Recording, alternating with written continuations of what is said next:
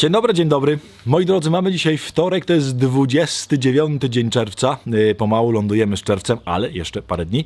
Yy, A to jest oczywiście kolejny wstawak poranny, rozbudzający, popychający, wystrzeliwujący i w ogóle mam nadzieję robiący święty dzień. Taki byłby plan. A będzie dzisiaj bardzo pomocny pomocnik, który nam w tym pomoże. Pomocny pomocnik nam pomoże. Jedziemy.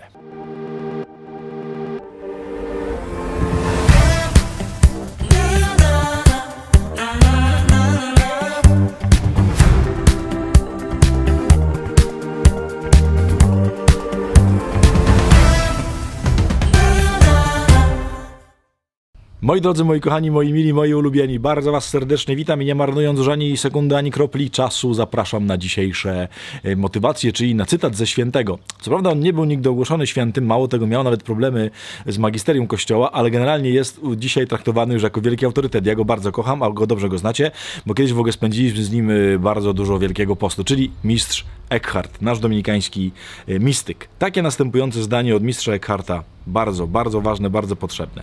E, Tak mówi mistrz.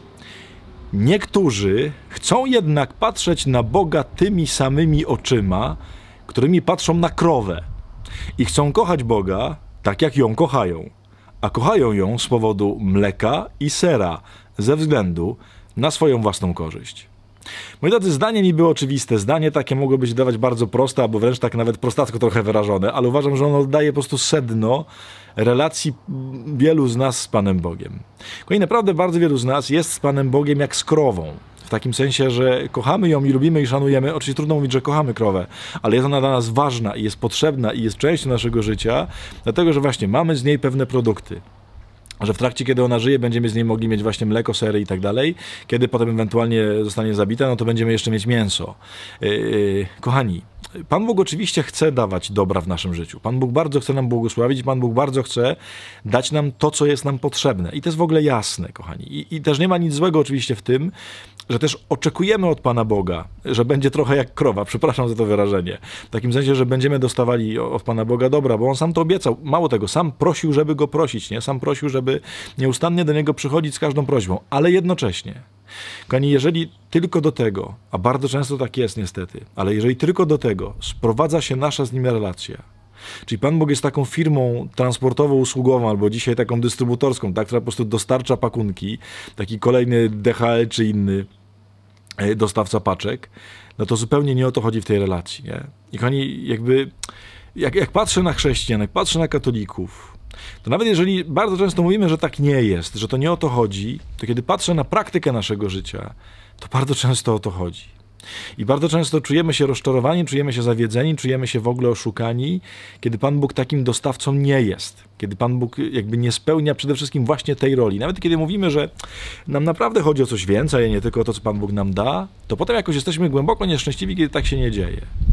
Kochani, no, test jest bardzo prosty, nie? Czy jeżeli Pan Bóg nie będzie Ci w niczym błogosławił, nie będzie Ci nic dawał, nie będzie w żaden sposób, nie wiem, dostarczycielem różnych łask i, i błogosławieństw, to czy nadal będziesz Go kochać nieskończenie, nie? I oczywiście wiem, że na pewno trochę między nami takich się znajdzie, ale jednak gdzieś tam podskórnie ciągle my Mu przypisujemy przede wszystkim taką rolę, nie? Pan Bóg jest takim posługiwaczem. Uwaga!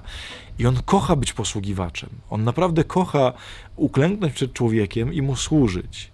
Ale przede wszystkim zależy Mu na relacji.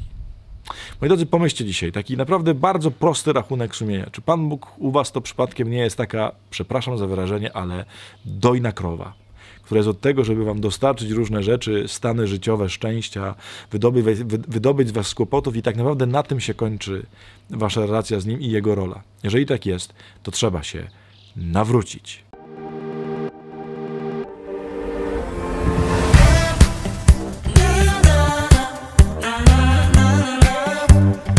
Moi drodzy, moi mili, to by było na tyle w tym naszym dzisiejszym wtorkowym spotkaniu, za które Wam bardzo serdecznie dziękuję E, i bardzo się cieszę, że mogliśmy się w takich okolicznościach spotkać wtorkowych. Miejcie dzisiaj najlepszy możliwy dzień. Bardzo ściskam, bardzo błogosławię. E, Miejcie się proszę, naprawdę najlepiej na świecie. A wiecie, kiedy będziecie się mieli najlepiej, najlepiej na świecie? Jak będziecie z Bogiem dla Boga, bo wtedy On Was obsypie całym możliwym, nieskończonym szczęściem tym niemożliwym też. Z Bogiem ściskam. Pa!